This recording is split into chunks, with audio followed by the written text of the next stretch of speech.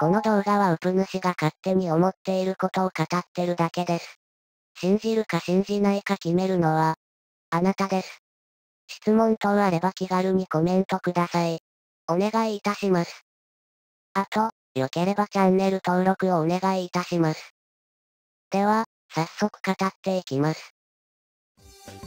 はい、どうもウプ主です。ダーちゃんだよ。今回はストローダーツの作り方とそれを使った練習方法を語っていきます。まず、作り方です。用意する材料は、ストロー、紙フライト、ソフトダーツのゲップ、ストローは太めのものをおすすめしています。なんか料理番組みたいなのが始まった。用意したストローを好みの長さにカットします。うつ主は蛇腹の部分から先全部使うのでそこでカット。カットしたら紙フライトを差し込むための切れ目を入れます。切れ目を入れたらそこに紙フライトを挿入して、セロハンテープで固定。切れ目の長さはだいたいフライトの半分くらいの長さでいいです。フライトをつけたら次はゲップです。ゲップも適当にセロハンで留めてもらえれば OK です。最後に持つところに滑り止めのセロハンテープを貼って完成です。なんということでしょう。ただのストローがダーツに変貌しました。これ、子供工作レベルじゃないそのくらいのクオリティで OK です。あくまで練習用なので綺麗に作る必要はありません。OK。皆さんできましたか？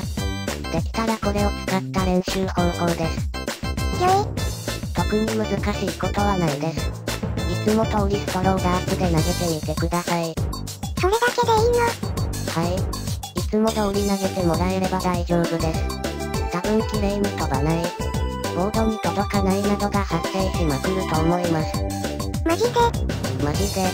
それをなくして、綺麗に飛ばせるようにする練習だからです。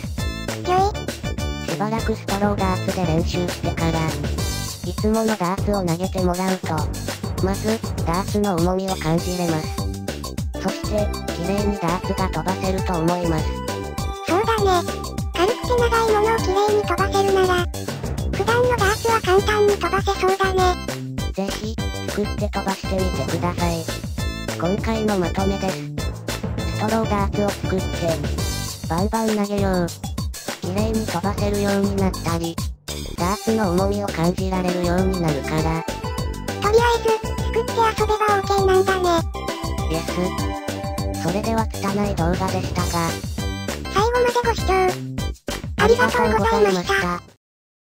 よければチャンネル登録お願いいたします。